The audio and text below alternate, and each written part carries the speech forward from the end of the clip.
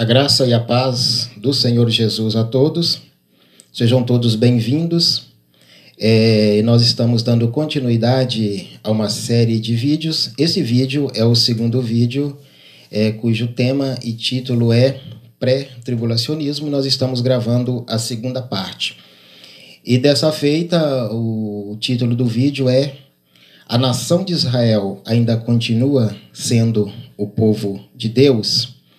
Porque na atualidade existe uma, uma teoria chamada teologia, te, teoria da substituição ou teologia do pacto, que ela afirma é, que a nação de Israel ela foi substituída integralmente, cabalmente e definitivamente pela igreja e que todas aquelas, aquelas promessas que foi dita para Israel no Antigo Testamento, feitas para Israel no Antigo Testamento, hoje elas estão valendo para a igreja. Depois também existe a, a chamada teoria da substituição, aonde diz que a igreja substituiu Israel. Então, biblicamente, constitui-se um erro muito grande em não considerar Israel como povo de Deus, como nação, e a igreja como um povo de Deus, mas totalmente distinto da nação de Israel, aonde Deus tem uma palavra exclusiva para a nação de Israel e tem uma palavra exclusiva para a igreja. É, a única coisa em comum que a igreja e Israel tem é a redenção através do sangue precioso do Senhor Jesus Cristo. Somente isso que eles têm em comum. Mas Deus tem promessas para esta nação e tem promessas para a igreja totalmente diferente. No decorrer desse vídeo, nós iremos descobrir que, inclusive, o arrebatamento da igreja é algo exclusivo para a igreja, né? O arrebatamento é algo exclusivo para a igreja e a vinda de Jesus em glória, que é um acontecimento totalmente diferente, é um evento exclusivo para a nação de Israel. E todo estudante ou todo ensinador de Bíblia ou de escatologia que queira ensinar de uma forma de uma forma séria e responsável terá que considerar a divisão entre Israel e igreja. Não poderá de forma nenhuma ler a Bíblia dizendo que Israel e igreja é a mesma coisa. Haja visto a, a sublimidade dessa nação, a maneira com que Deus trata com essa nação, a maneira como que Deus fala com essa nação na Bíblia, a maneira como Deus agiu com essa nação.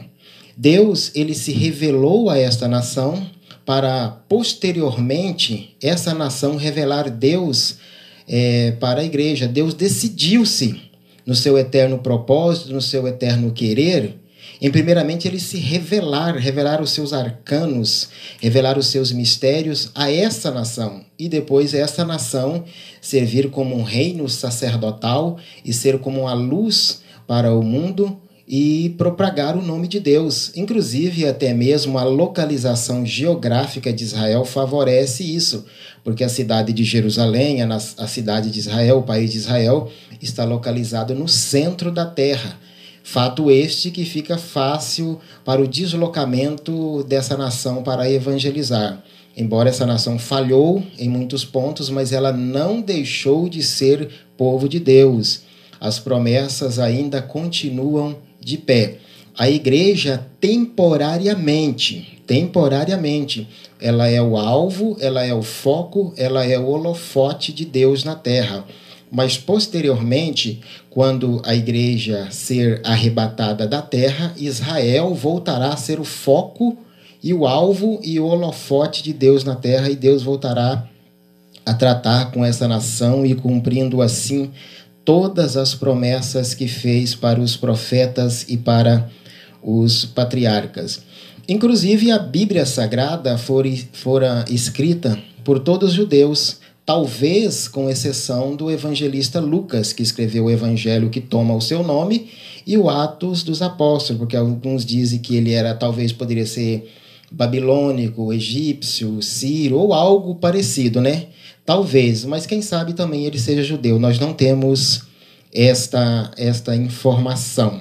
Então, Deus agiu na vida desse povo, da nação de Israel, como nunca agiu como uma outra nação.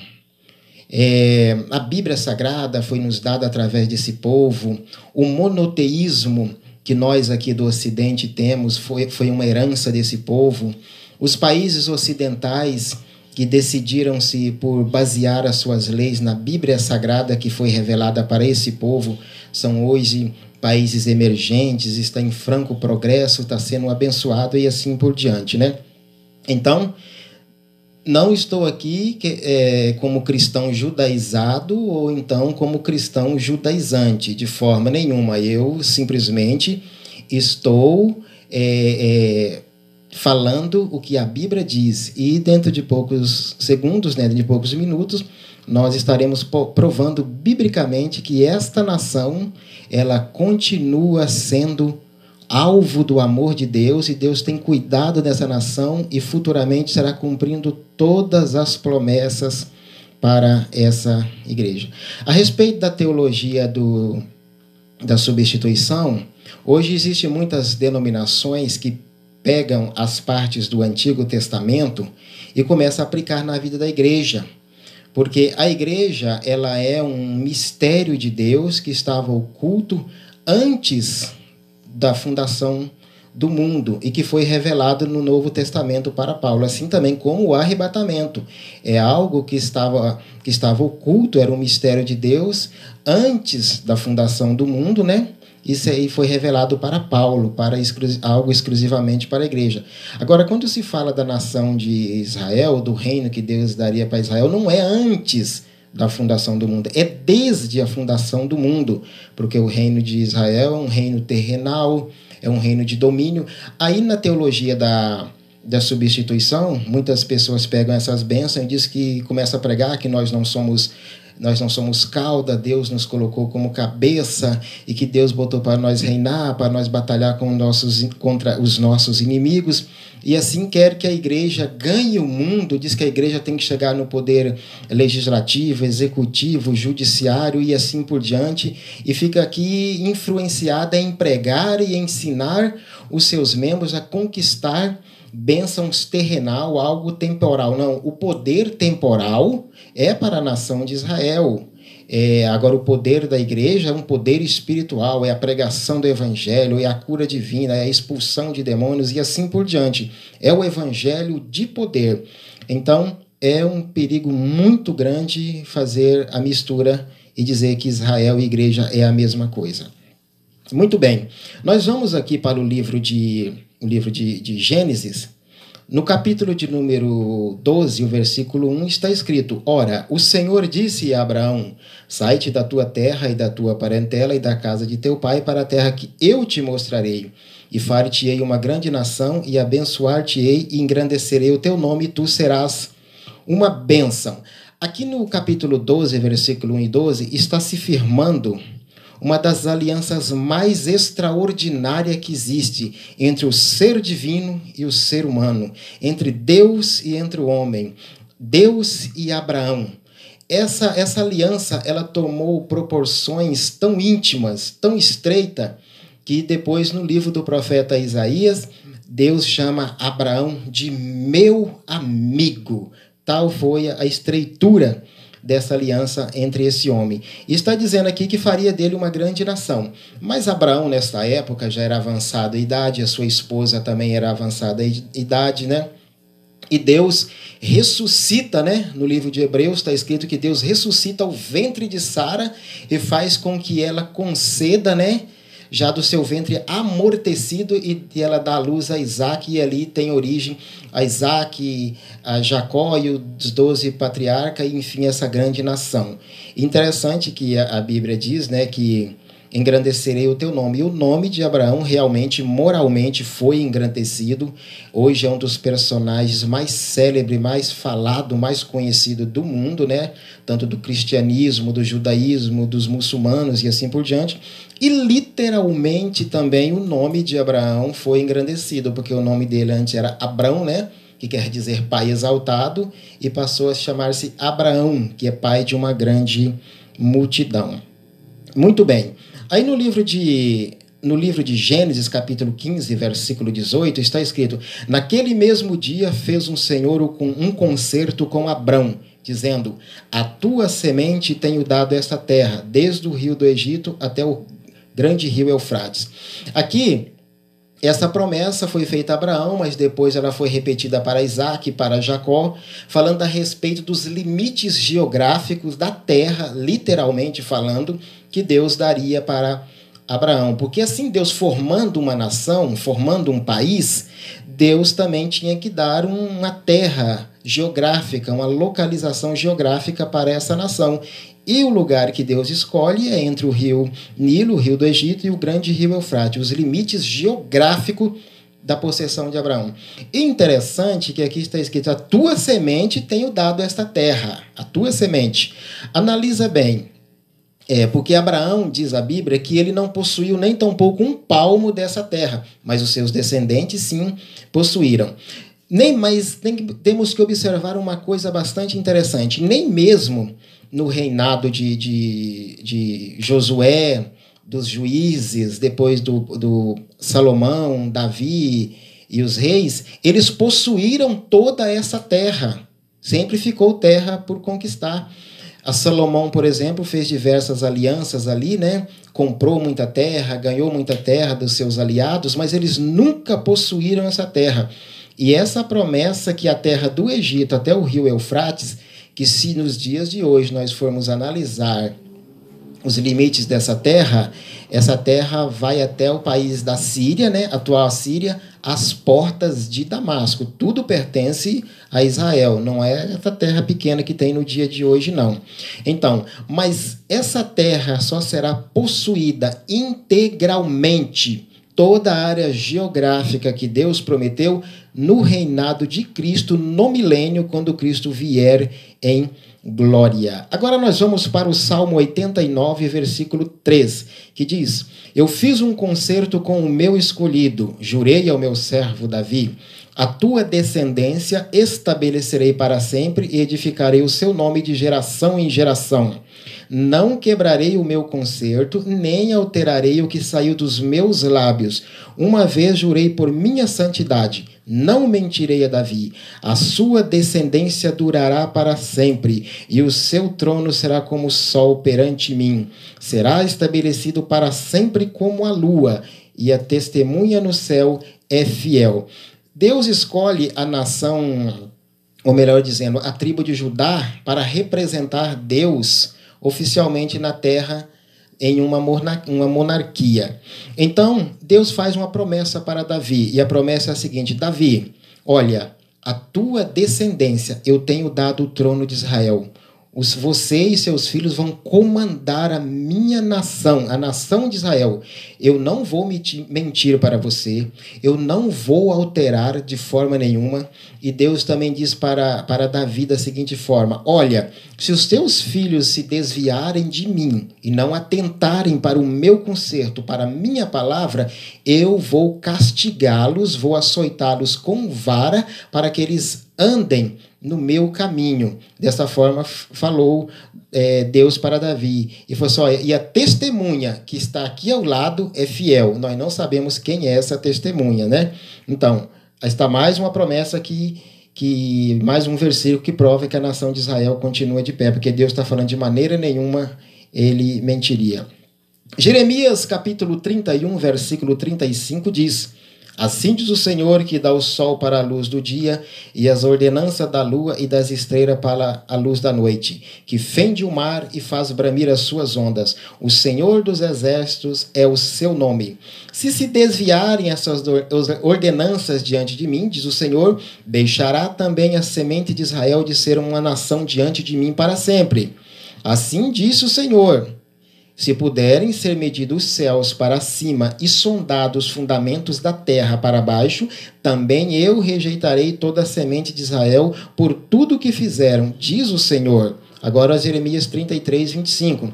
Assim diz o Senhor: se o meu concerto do dia e da noite não permanecer, e eu não puser as ordenanças do céu e da terra, também rejeitarei a descendência de Jacó e de Davi, meu servo, de, de modo que não tome da sua semente que domine sobre a semente de Abraão, Isaac e Jacó, porque removerei o seu cativeiro e apiedar-me-ei deles. Olha só, Deus, ele é o criador dos céus e da terra. Deus trouxe o universo à existência pela palavra do seu poder. A palavra aqui é logos, a palavra aqui é uma referência a Jesus. Então Deus trouxe tudo à existência por intermédio de seu filho Jesus. Ele é o primogênito de toda criatura de Deus. Quando a Bíblia diz que Jesus é o primogênito de toda criatura de Deus, não está querendo dizer de forma alguma que Deus criou Jesus e depois Jesus criou todas as coisas. Não, de forma nenhuma.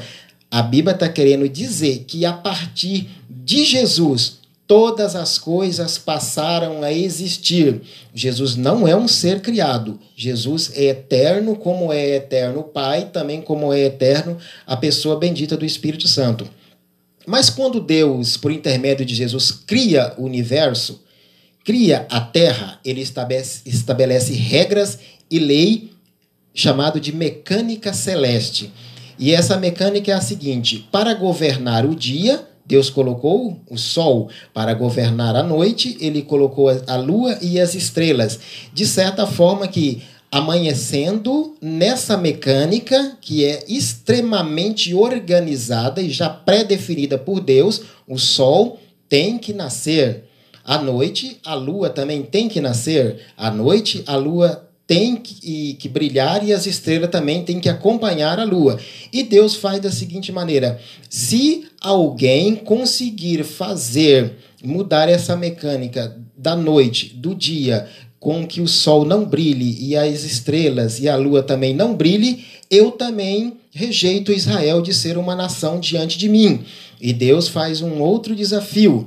Se puderes ser medido os céus para cima e a terra para baixo, eu faço com que a nação de Israel deixe de existir. E isto é algo impossível para o ser humano. Outra prova evidente de que a nação de Israel continua sendo o povo escolhido, eleito de Deus e tem o seu lugar no plano divino de Deus dentro da escatologia bíblica. Amós, capítulo 9, o versículo 14 e 15. E removerei o cativeiro do meu povo Israel, e reedificarão as cidades assoladas, e nelas habitarão, e plantarão vinhas, e beberão o seu vinho, e farão pomares, e lhes comerão o fruto. E os plantarei na sua terra, e não serão mais arrancados da sua terra que lhes dei. Diz o Senhor teu Deus. Então, Vocês sabem muito bem que o reino do norte Israel, Israel foi dividido em dois reinos, reino do norte e reino do sul. Não foi Deus que dividiu, mas foi a política que dividiu essa nação. O reino do norte ficou composto por dez tribos. O reino do sul ficou composto por duas tribos, Judá e Benjamim. O reino do norte foi levado cativo no ano 722 para a Assíria. Poucos desses judeus que ali foram voltaram. Mas o reino do sul, composto por Judá e Benjamim, foi levado para a Babilônia. Mas, por intermédio do profeta Jeremias, já havia uma profecia dizendo que eles ficariam ali 70 anos. Cumpridos-se os 70 anos, como Deus havia falado, esse povo volta para a sua terra, reedifica os muros de Jerusalém, reedifica a cidade com muita angústia, mas enfim, eles reedificam. É, reconstrói o templo. O templo não era como o primeiro. Depois esse templo foi ampliado, adornado e embelezado por Herodes o Grande. Mas no ano 70 da nossa era, o general Tito, general romano Tito, filho de Vespasiano, ele cerca Jerusalém, destrói o templo, destrói a cidade, né? E então ali é, eles vão novamente para o cativeiro.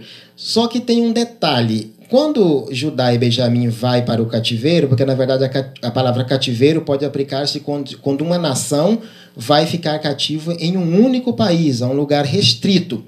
Agora, ali no ano 70, quando terminou ali a matança dos judeus, que morreu cerca de 1 milhão e 100 mil judeus, os que sobraram, alguns foram levados para trabalhar de escravos, outros para o mercado de escravos, outros foram para a arena lutar contra gladiadores e animais ferozes, né? Aí os que sobraram eles foram para diversos países. E quando vai para diversos países uma nação, já não é mais chamado de cativeiro, é chamado de diáspora, quando a nação é dividida em vários países, né? Então, mas esse povo ficou desde o ano 70 até o ano de 1948, né?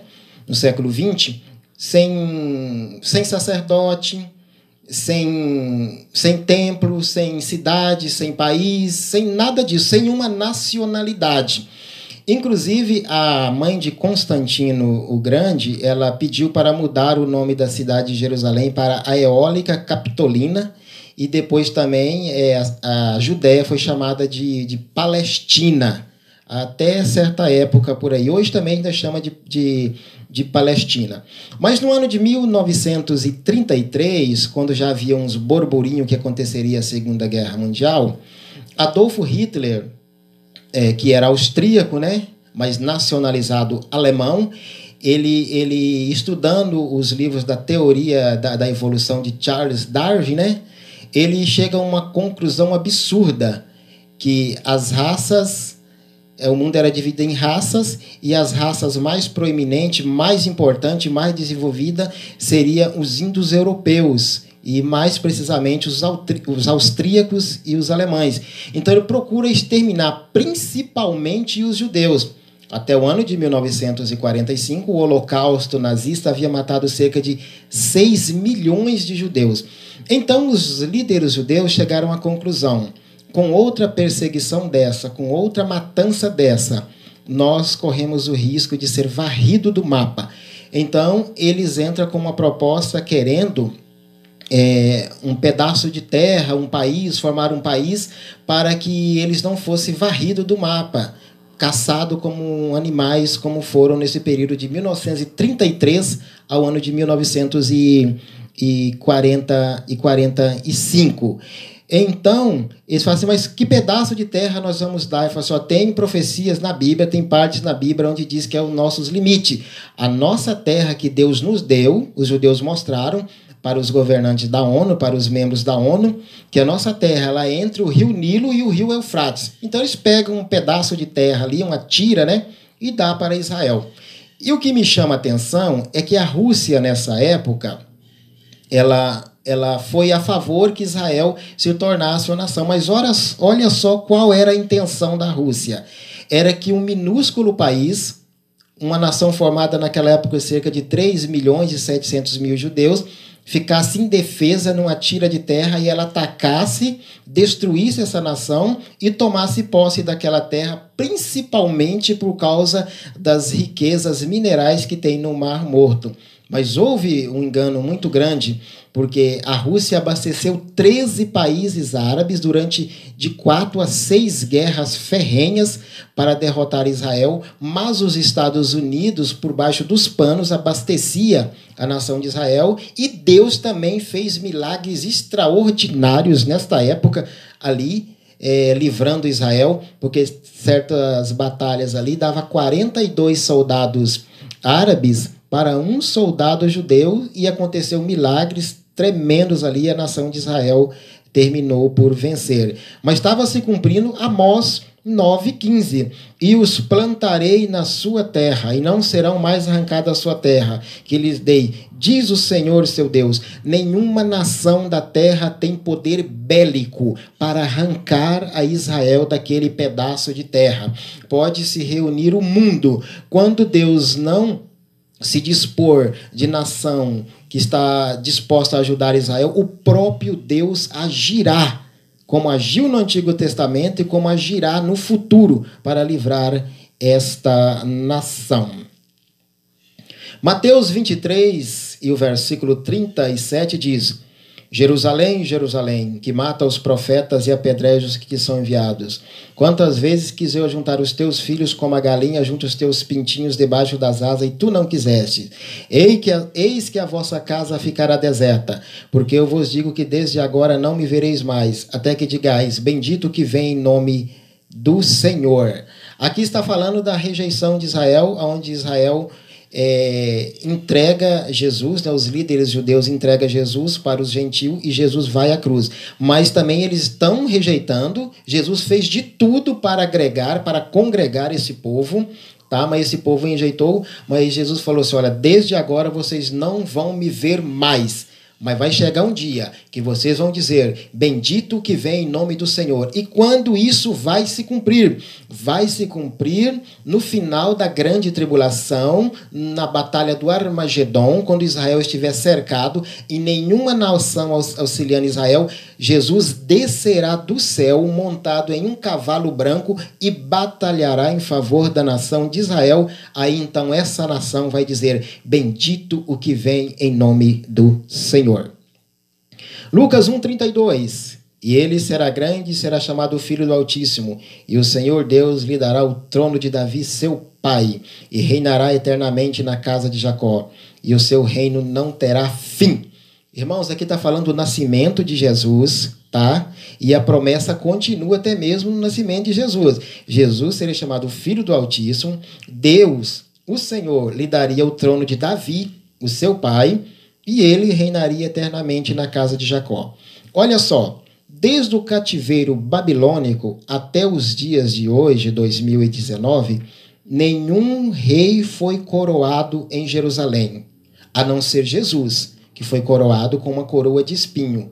Então, houve uma vacância nesse, nesse, nesse quesito para governar Israel. Mas esse reino será será tomado posse por Jesus, o próximo rei que vai se assentar no trono de Davi, descendente legal de Davi, é Jesus no milênio. A promessa continua de pé e essa nação continua sendo o povo de Deus. Atos dos Apóstolos, capítulo 1, versículo 6. Aquele, pois, que se havia reunido, perguntaram, dizendo para Jesus: Senhor, restaurará tu neste tempo o reino a Israel? E Jesus disse: não vos pertence saber os tempos ou as estações que o Pai estabeleceu pelo seu próprio poder. Analisa bem. Jesus estava no Monte das Oliveiras, ia ser assunto ao céu, mas de repente os discípulos falam assim: Mas é agora, Senhor, que tu vai restaurar o reino a Israel? Porque o Senhor já ressuscitou e já disse que todo o poder é me dado nos céus e na terra. É agora? Ele falou assim: Olha, eu não vou tirar a esperança de vocês. Só que vocês não convêm saber dos tempos e das estações que o Pai estabeleceu pelo seu próprio poder. Agora, o que compete vocês agora, sendo igreja, vocês vão ser revestidos de poder, tá? Vocês vão pregar o evangelho em Jerusalém, Judéia, Samaria e até os confins da terra. Mas Jesus não disse uma negativa. Jesus não disse não para os discípulos. Jesus não tirou a esperança dele. Esse povo ainda faz parte do eterno propósito de Deus. Romanos 11:1. Digo, pois, porventura rejeitou Deus o seu povo? De modo nenhum, porque também eu sou israelita, da descendência de Davi, da tribo de Benjamim. Deus não rejeitou o seu povo que antes conheceu.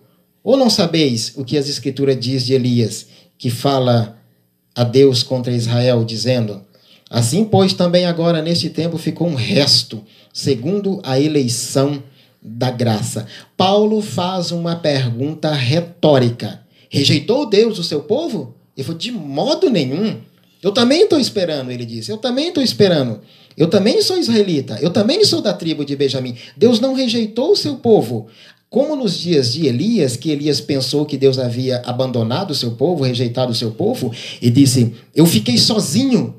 Deus falou assim: Você está enganado, Elias, você não está sozinho. Eu ainda, eu ainda reservei sete mil cujos joelhos não se dobraram e cujos lábios não beijaram Baal. Então você não está sozinho nesses dias aqui. Só que a única diferença é que hoje esse resto é chamada eleição da graça.